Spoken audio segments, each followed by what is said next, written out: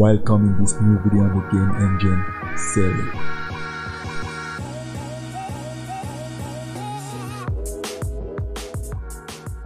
In this video, we're going to be talking about parallax background. So you probably have this um, experience while playing some games. You have this kind of scrolling background where we have many layers um, scrolling with a different ratio. So the words actually refers to that is the parallax. I don't even know where that word come from, but it doesn't matter. Now in this video, we're gonna be I'm gonna be showing you how you can actually add that into your engine. So because I already implemented that, you can see right here, I have um, I think five layers. I have one for the clouds, as you can see right here. I have one for the sky behind, one for mountains. Also have one for these trees right here and another one for these in the front. And those are just kind of entities trees that I can add. So whenever I run you can see they are not kind of they are not scrolling with the same ratio. So the object that we have in the front here will not scroll with the same ratio as object in the background because when you're driving with a car for example mountains that are far away you know are not moving with the same ratio as those trees that are just across of the road and that's the idea about the parallax. So we kind of have this real world effect of things moving with the with with kind of realistic speed so to say. And you can see right here whenever I move you see these trees are moving with the same ratio as the player and the map but these right here have a different ratio. And the idea is to be able to kind of play around with those ratio to give to to you the chance to be able to kind of modify that and change that according to your will and whatever you might want to get from that. So that's basically what we're going to be doing in this video. Now if this is your first time watching videos on Madsycode channel it's really important for me if you haven't subscribed now just hit that subscribe button in the description below before we start talking about this. And I also want to mention that you are able to download the source code of this project right here on my Patreon page. You need to be a Patreon for that, but you will have all access and you also be able to kind of impact on the content I'm producing. So I think it's a good idea to go and check that out. But I I'm doing the best I can in this playlist to explain everything so that you guys can also learn from my experience. I wasn't a game de developer before I started this. I was just someone who liked to write some lines of code and I decided to build a game engine. And this is kind of you know something that I actually get out of that. So without spending your time let's get started. Now the first thing we want to do right now the first thing I'm gonna show you before we get started is what I actually changed on the code because I don't want you to download the new version if you have Patreon for example and then kind of see some things that I changed and then I feel like I made something wrong. No, I kind of changed some names. For example, game map, I changed it to tile map. So that's just a name change. I haven't changed anything uh, in the code of that. Just change the name. And the way you can do that is by just clicking if you want to do that because you don't have to. I decided to do it like that. So you just click right and you have this code refactoring and you say rename symbol and you can give the new name right here. Whenever you push on ok it's gonna be you know renaming this um, all over the code. So you won't have to go for each line of code that you've written with this variable and change that. That's really important. You can also use uh, control R I think so. And with this you can also replace in the whole project files. That's also another way of replacing the name of a variable. And also remind you know to change the name. Remember to change the name of the file if you will. So that's just something I just wanted to throw out in case you you kind of have a problem. And one thing you want to make sure you do if you change the name is in your tile layer the name of this guy right here was, was actually the name I'm using right now for the tile map.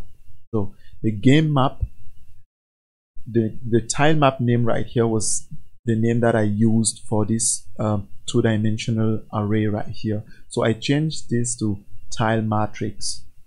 It make I think make more sense for me. at least for me so whatever just like that now that was just like an important aspect I wanted to point out before I start talking about parallax now for that for the parallax background all we need to create is an image uh, layer and for that you can see right here I have these two new files right here called image layer. So I'm gonna invite you to just go and click and create a new class called image layer and you know save it in whatever folder you have in your case. So in my case you know I have the map folder and I just put it there. And my image layer is a little bit weird right now but it's it's working and uh, I'm getting everything I want from that and I'm I'm having some new ideas that I'm gonna be implementing on this like you know making things uh, so that um, this layer will be able to determine itself. It is gonna be you know kind of show the image more time and repeat the image. If the size of the map is too huge then probably this layer is going to be taking care of making the image fit the screen. So some things like that. I don't know if that even the way things would be done you know in in in the reality. I'm not like a gamer or someone who really deal with games. I don't really play that much game. I i i'm not but i'm just fascinated with this and i'm interested in writing code and that's all what's driving me right now. So this is the class. You can simply pause and write it if you need if you want to or if you're just checking because you want to see how I did this you can still watch. Now there are still variable right here that I haven't used right now like this one only this one I haven't used. But uh, this is actually the variable which is the one I was actually trying to think about how I could use it to make the background be repeated I mean the image be repeated to fit the size of the screen now you can see we have our constructor which takes some point parameters. The first one is the texture ID. So the image we want to draw on the screen, we want to have the texture ID of that. Since we already have a texture manager, we don't have to, you know, somehow load the image here and deal with everything and that. So we just want to have the ID of that. The texture manager is going to be taking care of loading that image for us and we won't have to change anything about that. So, and um, yeah the position where we want this image to be you know where we want this image to be uh, printed on the screen. The scroll ratio. This is actually how we want this to move according to the camera. Because everything you're seeing on the screen right here is drawn according to the camera. So everything right here whenever I move everything is drawn according to the camera. So if I want to have a different ratio with the camera I have this variable which has a value between 1 and 0 I should actually make sure I put that in that area so that whenever someone gives something more then I always cast it down. But no the value the value is between 0 and 1 and I just multiply the position of that camera. Uh, I did that in the texture manager. I think I already talked about that. Just want to show that in case I haven't but I think I did so right here in the draw function, you can see I just call my camera and I get the position of that. And you can see I multiply this by the speed ratio, which is like the scroll ratio, whatever you might want to call it. And I just multiply it by the scroll ratio. And this will actually determines the normal value that I want for the camera to the value that I want for the position of the current texture I want to draw on the screen. And that's why the destination rectangle is going to be, you know, I'm going to be taking the part of the camera out of that to be able to, you know, put it on the screen the way it should be. So this is just like a translation, so to say. And that's the idea about this. So we have this scroll ratio, we have the scaler. We want to scale up or scale down the image. In this case right here, I, have been scaling images. I'm coming to that because those images was were pretty small and if I had to deal with that with the original size then I will have to print this on the screen at least 10 times to reach this size. So that's why it's also important to scale up or down. And the guy who take care of that is this texture manager. You can see right here in the destination rectangle we simply multiply the width and the height by the scale that we've given. That's the whole idea about this. You can see right here we have the scale given. And that's it. You can even rotate if you want but that's just something we don't need right now. So that was the constructor and we have this set scroll ratio. Those are just setter. There's nothing so important about this. Setter are just setter. There's nothing to explain. But we have this query image. I could have said query texture whatever. This is important because if you see right here we have image width and image height we somehow want to get this information without having to write this ourselves because it will be pretty annoying every time to give the size of each of each image we want to load. And uh, I think I'm gonna be also working on this texture manager to make that also um, you know possible that whenever we load an image we query that image and simply take the information about that image width and height we're gonna probably create a texture structure which has all information about the image like the texture the width and the height the format the source the path. And we'll simply use that instead of just creating our map with the texture as we did right here right here. We're going to be creating that with our own structure of texture. And then we'll be able to access information about images and use them for you know all kind of purpose we might want to do you know that's that's very important. So and uh, if I switch over to my CPP file so you can see the constructor is straightforward. I just kind of set the values of my member variables. And the, the query image is simple. I just want to get the size the height and the width of that image. So there is nothing that I've done here. I just call the SDL query texture and uh, I get the texture from the texture manager. So I created this new class this new uh, method instead um, called get, get texture. And uh, if I go to my texture manager right here you can see that method right here. All it does is it takes the ID of the texture I want to kind of get from my map and I just give that texture to my map and it's gonna return that texture for me and I can get access on that and use that for any kind of purpose I have on my engine. Now if I go back to my CPP file you see I just query this and I call that query image right here to be able to get the information about that. And as I said I think I'm gonna be doing this in the game in the texture manager so that I will be able to do this without having to call this function right here. For all texture that I load I want to query and get all information about them and then I'll be able to get uh, do something out of that now how to use this? We already have this created. How to use this? If I go to my um, play state so if, if you don't actually know what I'm talking about this play state and stuff I have videos about that. There is a there is a the, the link in the description below. You can go and check that out. Created a state for you know for our game and don't want to talk that much about that. Now this is how I can create a parallax so I just went and I created this variable right here. I'm actually thinking to make this a little bit better by not writing that much. You see right here I have all these that's too much for me. I don't want this. So I want to do this. I already have some good idea about this. I want to do this so that everything will be automated so I don't have to write this myself.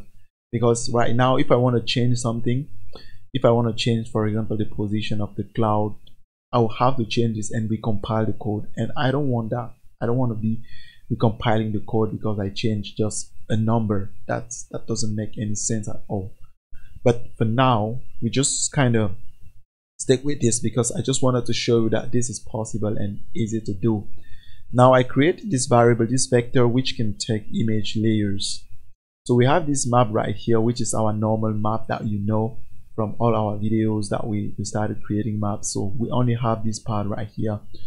And uh, we also have this image layer right here. And we just kind of push some image layers in there. And you see, I just gave the ID of my images and if you've been following along you know that my images are you know in this xml file right here I just have to specify the ID of the image and the path of that image relative to the project folder that's important because you can also put absolute path that's that, that's not a big deal and you see just give this and I'm able to load this with my program and use this. So the idea was just to avoid me every time writing to load images because I want to write less code as possible. So that's my target. So and then I just kind of you know load the sky, uh, mountain, cloud, and all these things right here as you can see. And I just come down here. This was just for trees. I'm coming to that in a couple of seconds. And I would just come down and say parallax. Where is the weird guy? Where is right here? Yeah. And I just use this loop right here to, you know, render all of our parallax. I didn't mention something. The image layer also inherit from layer because it's a layer. So that's why this is important. I didn't mention this. And that's why it has this render and this update function. And uh, I just kind of use that to render. And I didn't talk about my render function either. So let me go back to the CPP file. I just call my texture draw function. There is nothing that I can explain here. I can set the angle and say 30 and if I compile this you will see um, all images are gonna be you know this is also something I, I like it. It looks so great man. I can create some kind of nice stuff with this. Yeah okay. I don't want to mess up with that. So and this is the result actually. As you can see on the screen everything's looking just fine and uh, we don't have to do anything and everything's handled properly scrolling the speed of each tiles and I really like the way it works because hey it's keep working I stop. What's wrong with this guy? I'm not even pushing the key. Okay I, I don't know whatever. So yeah and uh, let me go back to my play state. I'm showing too much things. Don't worry you can still get the source code in the description below. So if you have any question or concern just write me down and I will kind of answer that at least if I can. So I can. So that's normally it. This one right here as you can see is just I just wanted to put some trees because I wanted to have some colors in the front right here. That's why I just use that. But the idea is to create also a file like this where I'll be able to pass all those entities and just throw them on the screen without having to write any line of code that's something I really want to do. And uh, you know if you remember if you have been following along we also created factory object factory. We're also going to be creating things like I don't know layers factory or entity factories. I don't know but this is just a journey I started and I hope this is gonna be interesting. And um, yeah. I've been talking too much and um, I hope I haven't you know forgotten anything and yeah. So thank you guys for watching videos on Madsycode channel. And uh, as I said you can still leave me a comment in the description below. If you don't like this at all let me know. But if you do like it don't leave without pushing that like button. And if you haven't subscribed I beg you to do that right now because I really need your support. And if you guys can go out and support my work on Patreon that will also mean a lot to me and uh, I really appreciate you guys watching my videos and leave a nice comment. So see you in the next video. Ciao